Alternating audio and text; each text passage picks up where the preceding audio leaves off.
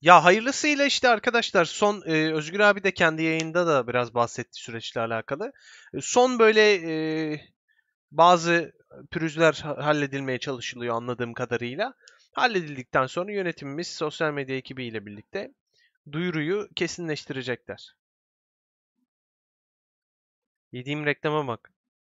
Kardeşim reklamı beğenmediysen al bir tane daha reklam vereyim sana.